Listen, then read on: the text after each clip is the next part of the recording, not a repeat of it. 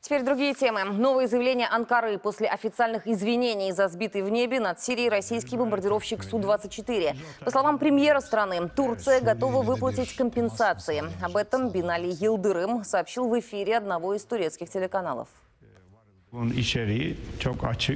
Понятно содержание послания. Наша сторона выразила сожаление и готова в случае необходимости выплатить компенсацию. Обе страны выступают за нормализацию отношений между ними, считая, что дело движется в направлении их улучшения.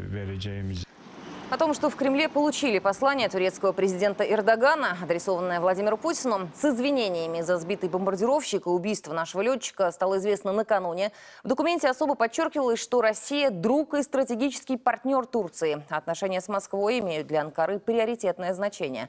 Президент Турции принес соболезнования семье Олега Пешкова. Также в письме говорится, что в отношении гражданина Турции Альпарслана Чилика, он ранее заявлял о своей причастности к убийству пилота, ведется судебное расследование.